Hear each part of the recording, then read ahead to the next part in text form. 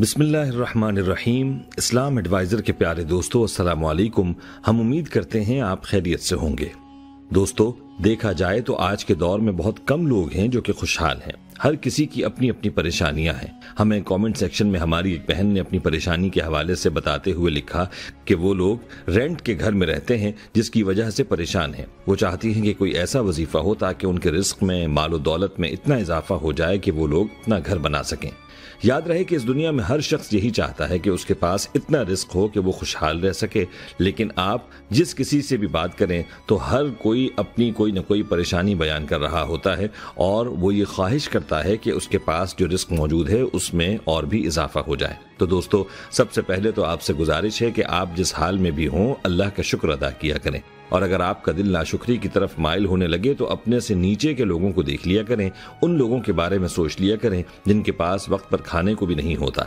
तो यकीन जाने कि आपके दिल में फ़ौरन अल्लाह की नेमतों की कदर पैदा होगी, जो आपके पास मौजूद हैं, और यूँ आप अल्लाह का शुक्र अदा करने लगेंगे।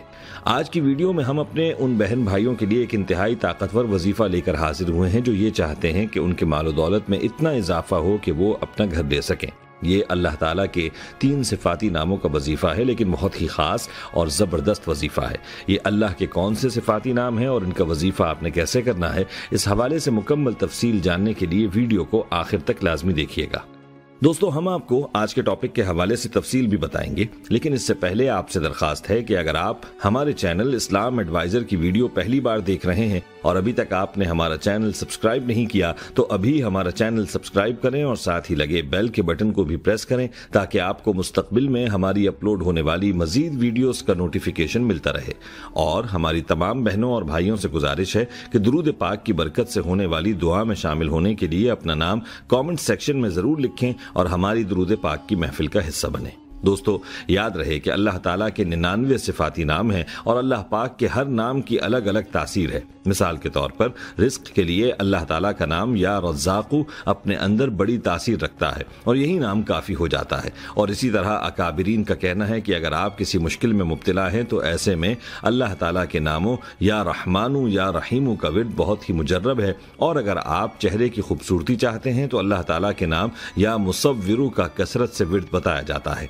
दोस्तों, ये सब बताने का मकसद ये है कि अल्लाह के जितने भी नाम हैं, उन सब में बड़ी तासीर है और अल्लाह ताला ने उन नामों में बड़ी ही ताकत रखी है। दोस्तों, ये सब बताने का मकसद ये है कि अल्लाह के जितने भी नाम हैं, इन सब में बड़ी तासीर है और अल्लाह ताला ने इन नामों में बड़ी ही ताकत रखी है। और हम आपके लिए आज रिस्क और दौलत में इजाफे का जो वजीफा लाए हैं, ये अल्लाह ताला के तीन सिफाती नामों का है और ये वजीफा बहुत ही ताकतवर और मुजर्रब है। इसलिए इस वजीफे को पूरे यकीन के साथ लाजमी करें। इससे आपको ऐसा फ़ायदा होने वाला है कि जिसका आपने कभी सोचा भी नहीं होगा। ये वजीफा आपने मगरिब की नमाज़ के बाद प्लेट में चीनी रखकर करना होगा। अगर आप इस वजीफे को बतलाए गए तरीके पर सच्चे दिल के साथ कर लें तो यकीन जानें कि आपके लिए रिस्क के ऐसे दरवाजे खुलेंगे कि जिसका आपने कभी सोचा भी ना होगा। दोस्तों, इस वजीफे के साथ आपने एक अमल लाजमी करना है और वो अमल ये है कि आपने रोज़ाना अल्लाह की ज़ात का कम अज़ कम सौ मरतबा शुक्र अदा करना है। वैसे तो हर मुसलमान को चाहिए कि उठते, बैठते, हर हाल में अल्लाह का शुक्र अदा करे, लेकिन आपने इस बात का अहतमाम करना है कि रोज़ाना मुख्तलिफ़ अवकात में, मुख्तलिफ़ मकाम पर आपने अल्लाह का शुक्र दिन में सौ मरतबा लाजमी अदा करना है। दोस्तों, शुक्र अदा करने से जुड़ा एक वाक़ याद आ रहा है। ये वाक़ आपको बताने के बाद आज के वजीफे का तरीका आपको बताते हैं। कहते हैं कि हज़रत मूसा सलाम की खिदमत में एक शख्स हाजिर हुआ और कहने लगा कि, ए मूसा, आप जब भी अल्लाह के पास कलाम करने जाएँ तो अल्लाह ताला से मेरी तरफ़ से आपने अर्ज़ करना है कि मेरे पास बहुत रिस्क है। अब मुझे रिस्क की ज़रूरत नहीं है, मुझे और रिस्क न दें। हज़रत मूसा सलाम बड़े हैरान हुए कि यह अजीब शख्स है। हर इंसान ये चाहता है कि उसके रिस्क में इजाफा हो और बरकत हो, और ये कह रहा है कि मुझे और रिस्क नहीं चाहिए। अलबत्ता, जब हज़रत मूसा सलाम अल्लाह से हम कलाम होने के लिए तशरीफ़ ले गए तो आपने उस शख्स की सारी बात अल्लाह रबुल्ज़त से बयान फरमाई। तो अल्लाह ताला ने हज़रत मूसा सलाम से फरमाया कि मैं उस शख्स का रिस्क बंद कर दूँगा। उस शख्स को बोलो कि वो मेरा शुक्र अदा करना छोड़ दे। इसलिए दोस्तों, आपने जो सबसे पहले काम करना है, वो यही है कि आपने अल्लाह ताला का हर हाल में हर वक्त शुक्र अदा करते रहना है। इसके साथ आप अगर किसी ऐसे काम करने के आदि हैं जो अल्लाह को सख्त नापसंद है तो ऐसे काम को फ़ौरन छोड़ दें और अल्लाह पाक से माफ़ी मांगें, अस्तगफार करें और हमेशा रिस्क हलाल खाने की कोशिश करें, हराम रिस्क से अपने आप को बचाएँ। दोस्तों, इन शराइत के साथ आपने हमारे इस वजीफे को पूरे यकीन के साथ करना है। आप देखेंगे कि आपको ऐसी जगह से रिस्क पहुंचेगा जहाँ से आपको गुमान भी ना होगा। इस वजीफे का तरीका मुलाहजा फरमाएँ।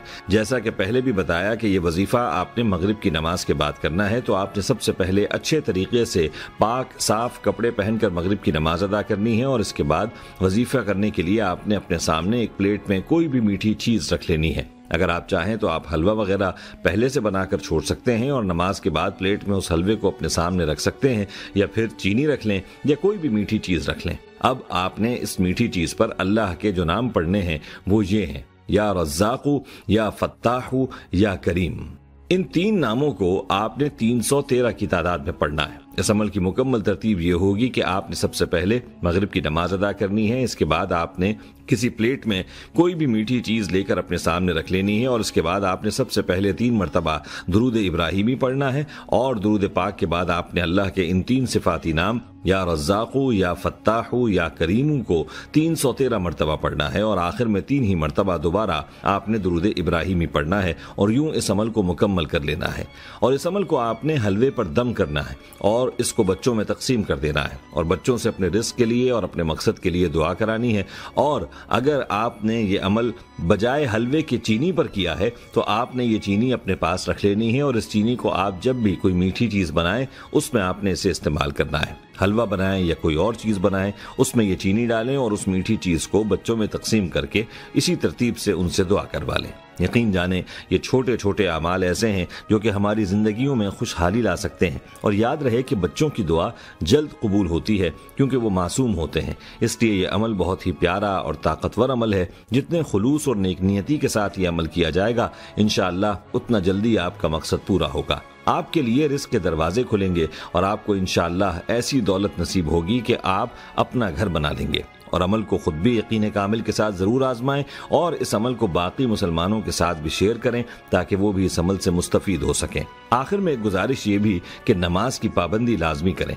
नमाज़ के साथ अल्लाह ताला के बड़े वादे हैं। नमाज़ में अल्लाह ताला ने रिस्क की परेशानियों का हल रखा है। इसलिए घर के तमाम अफराद से नमाज़ की पाबंदी लाजमी करवाएँ। अल्लाह पाक से उसके फजलो करम की दुआ मांगते रहें। इन आप पर अल्लाह का ज़रूर करम होगा। खुश रहें और खुशियाँ बिखेरते रहें।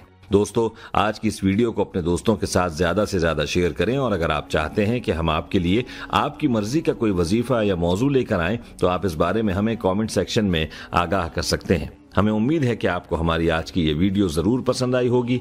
अगर आपको हमारी आज की ये वीडियो पसंद आई है तो सबसे पहले तो इस वीडियो को लाइक करें और अपनी राय का इजहार कमेंट सेक्शन में करें और आपसे एक बार फिर दरखास्त है कि आप हमारे चैनल इस्लाम एडवाइजर को ज़रूर सब्सक्राइब करें और साथ ही लगे बेल के बटन को भी प्रेस करें ताकि आपको मुस्तकबिल में हमारी अपलोड होने वाली मजीद वीडियोज़ का नोटिफिकेशन मिलता रहे।